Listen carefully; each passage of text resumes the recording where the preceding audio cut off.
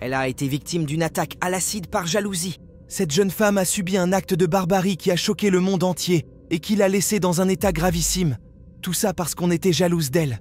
Veja só, ali a garota, a Isabelle, caminhando tranquilamente na rua. Cette scène absolument terrifiante s'est déroulée au Brésil, dans un quartier de Rio de Janeiro. Ce jour-là, et comme tous les autres jours de la semaine, Isabelle Ferreira travaillait au bureau. La jeune femme avait profité de sa pause déjeuner pour aller faire un peu de sport. Mais jamais elle n'aurait pu imaginer que quelqu'un allait s'en prendre à elle avec une violence inouïe. Alors qu'elle marchait tranquillement à quelques mètres de son lieu de travail pour aller au gymnase, la jeune femme a été victime d'une attaque à l'acide. Les images de vidéosurveillance montrent Isabelli totalement déboussolée dans la rue en demandant de l'aide aux passants.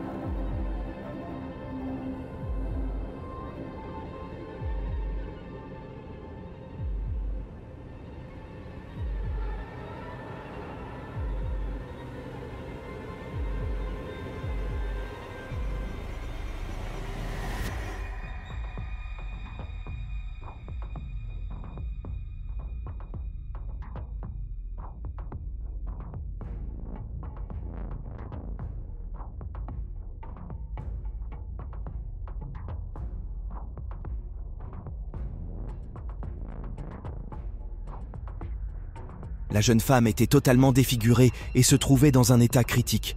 Face à l'horreur de la scène, un homme a appelé le SAMU et elle a été transférée à l'hôpital le plus proche où elle se trouve toujours actuellement sous surveillance des médecins. Alertée, la police a ouvert une enquête pour comprendre les circonstances de cette horrible attaque. Il n'avait que ces images du suspect. Et... Material para trás, que já foi encontrado por uma testemunha, e ele aparece andando nessa tranquilidade. Quem é o repórter que está lá, por favor? Vem para cá, por gentileza. Étaient persuadés qu'il s'agissait d'un proche d'Isabelli. Quando tem ataque com ácido no rosto, isso daí é para ferir a vaidade da mulher. Les inspecteurs ont creusé cette piste bien précise et ils allaient en finir par découvrir la sombre vérité qui se cachait derrière cette histoire. Ils ont examiné les téléphones des proches de la jeune femme et celui de son ancien petit ami incarcéré, où ils ont retrouvé des messages d'Isabelli faisant des commentaires pas très agréables sur l'apparence de Déborah, sa nouvelle copine qui était la coupable de cette attaque. Déborah n'avait pas supporté les messages qu'ils s'étaient envoyés tous les deux, et cela a provoqué sa fureur folle de rage. Elle a planifié cette attaque en achetant une perruque et de la soude caustique avant de passer à l'action. Elle est allée au supermarché, a acheté de la soude caustique et l'a mélangée à de l'eau. Elle a également étudié l'itinéraire de la victime. Quand Isabelli revenait du gymnase, elle le lui a lancé et s'est enfuie.